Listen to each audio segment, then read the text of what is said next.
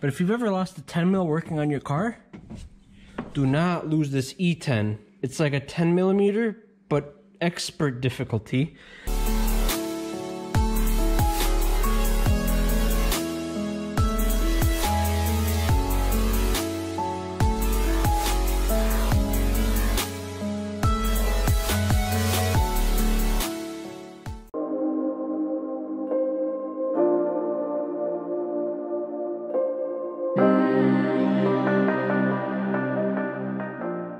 Hello everyone, so today we will be changing the oil on my Sea-Doo GTX S155. Uh, I will be using the original XPS lubricants made for this particular motor. Uh, this is going to be my first time changing the oil, but from what I've seen, it's pretty easy. However, there isn't another tutorial on YouTube that I saw, so looks like I'll be the uh, the first one to show you how it's done.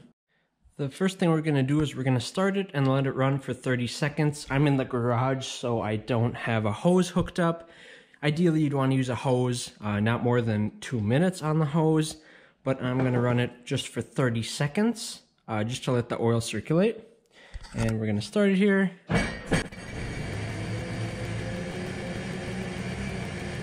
That's right at 30. Oil circulated, we should be good to go. The next step is we're going to raise our seat here. And then we're going to take off this cover here. Hard to do with one hand.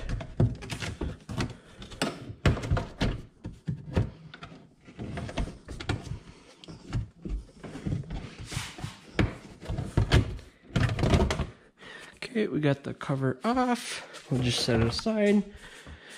And what we're going to do is we're going to take out our oil dipstick. Um, this is where we'll be pouring the oil into.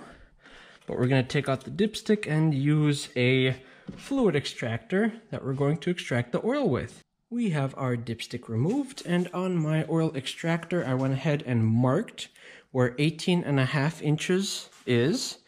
That is how far is going to be going into the dipstick tube. I got this measurement online, so you might want to use a different measurement if you got a different motor or if you find something more accurate. So there's 18 and a half.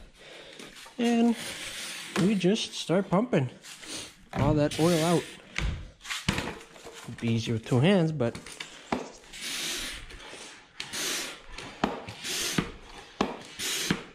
it'd help if you read the directions first. Oh, there we go.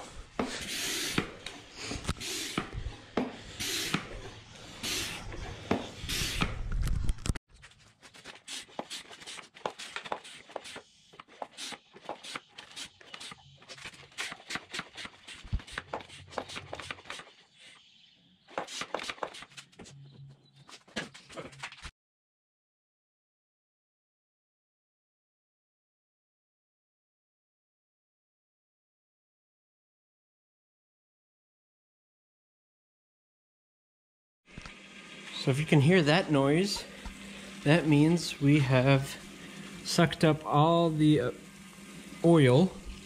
Not all that's in the motor, but we've just sucked up all that's in the sump at the bottom. So what we're going to do is I'll let this gurgle and make some more noises for a few seconds. I'm going to put the dipstick back, close the oil cap, and then we're going to crank the engine over without starting it. Very important. You don't want to start the jet ski. You want to crank over the engine so it circulates all that oil in the bottom. Let's show you how to do it right. So what we're going to do is we're going to pull, put our tether on. We're going to activate the engine or the, the gauges. What we're going to do is we're going to pull the throttle lever all the way down while holding the start button. Here's what it's going to look like. Pull throttle lever, hold.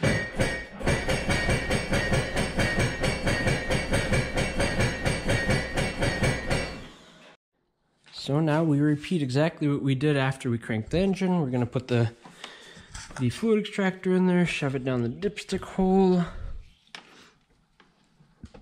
I'm gonna open my cap here for the oil. We'll actually take it out this time. And then we're gonna start pumping. And you can see the oil making its way down.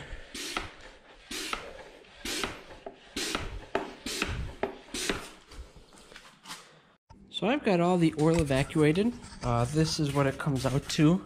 This is the three liter mark, so I got exactly three liters out. How much that is in quarts, not exactly sure, doesn't matter. Um, but luckily for us, the oil filter is right there. And you can't see it from here, but conveniently for us, it has been pre-stripped. So that's gonna be fun to remove. Uh, and it's always torqued down to million foot-pounds with the impact wrench, so that'll be even more fun. Uh, hopefully yours isn't as stripped as mine is, because that's going to be not a lot of fun.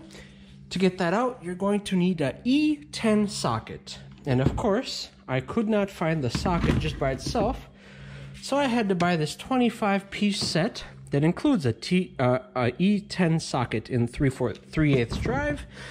So we're going to see if we can hopefully very easily remove that. If not, it's, it's, gonna suck, but hopefully we can remove it. It's been uh, 15 minutes trying to remove this dumb uh, oil filter. It's just, with this airbox in the way, it's really tight to get to. I did break it loose. I'm about to unscrew it. For those at home who have no idea how to take it out, here's a pro tip. You're going to need, obviously, the socket.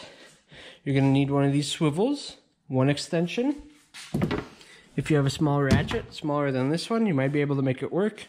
I use this.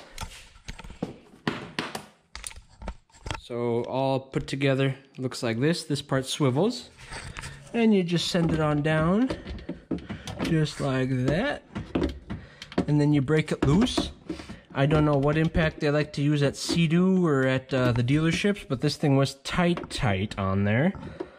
Uh, but uh, thankfully now I've loosened it and started removing it.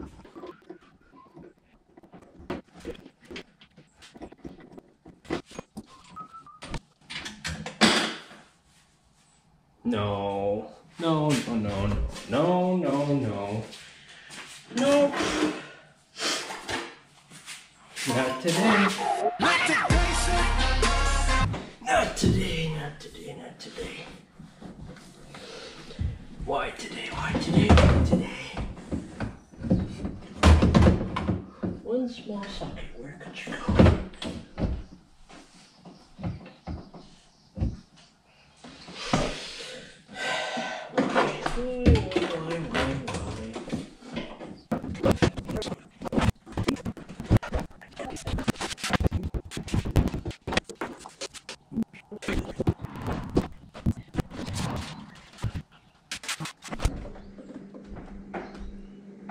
Where, where are you, my socket?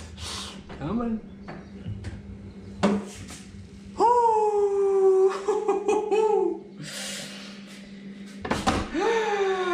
you gotta be joking. Okay.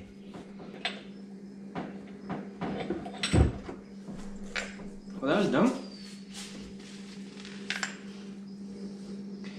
is the oil filter oil and there is oil all over my motor. Whee!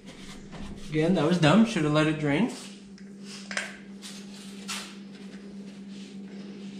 Our oil change kit comes with the oil filter and it also comes with two brand new o-rings and two of those brand new o-rings go right there where the orange ones are now, when you go put these O-rings on, make sure to lube them up with oil, and then you just slap the filter on, and uh, you should be good to go. Of course, I'm all greasy. Okay.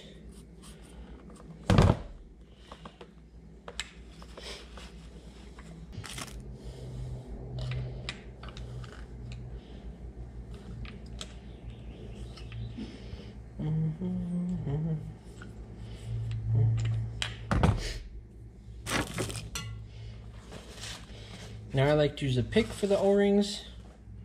You don't have to. But I do. This first O-ring that I removed is the bigger, fatter one. First one here is going to be this big fat one.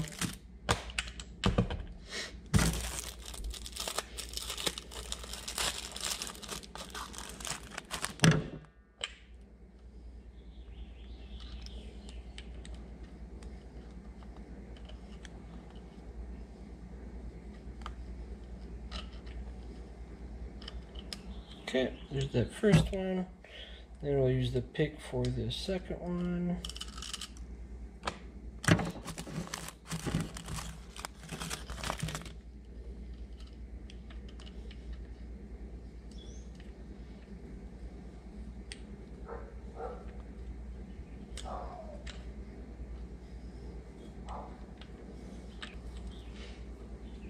Okay, there's those two O-rings. I'm gonna grab this dirty oil and lube them up. So all we're gonna do is you see that hole, you take your filter and then you shove it in that hole. It's like not too bad, but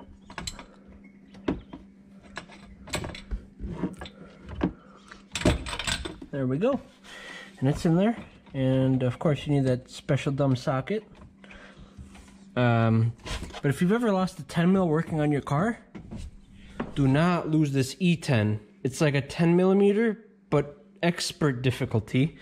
Because when it falls in there, you ain't ever getting it back out. So, yeah, I'm gonna scrub my hands down clean with brake cleaner and then grab a socket that securely holds onto that socket. Cause, uh, yeah, that took me 10 minutes to find where, where I lost that bolt. No fun.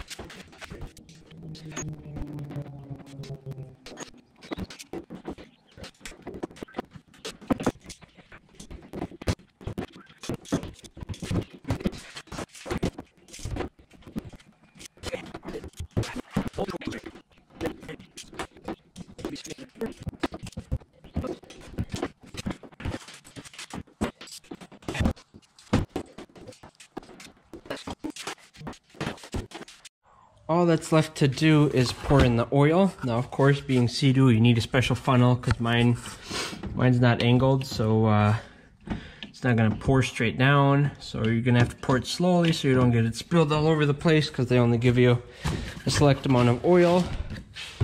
I'm putting in three quarts, and I'm going to start with about eight ounces of this because we don't know how much oil I extracted. There might be some left. So I'll pour most of this in and then start it up, let it run for 30 seconds, ensure trailer is straight, and then uh, see where the oil level is after that. Um, technically, you're supposed to get it to operating temperature. It's not hooked up with the hose, and then I'll leave some oil in the back just to just to check when it's finally out on the lake uh, in a few months since Minnesota just got to see 50 degree weather.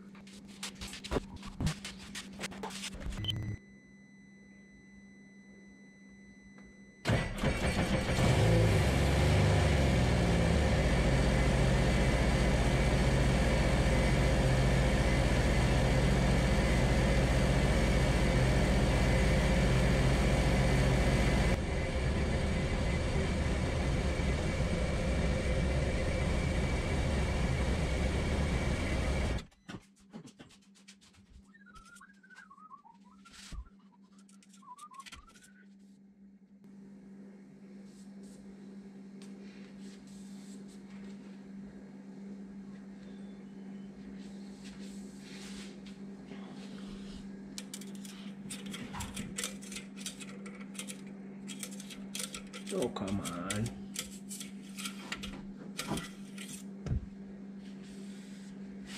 And we're right where we want to be on that dipstick. So we're good.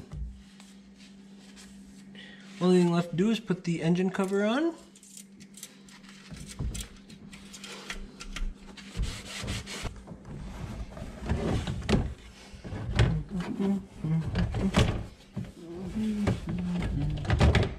And there you have it. That is how you change the oil on your 2013 or newer Sea-Doo GTX 155S. Happy riding!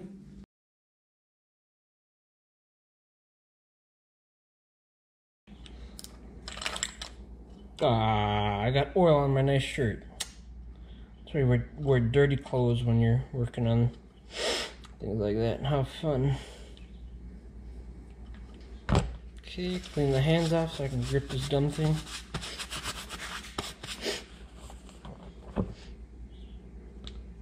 Cool, no more oil.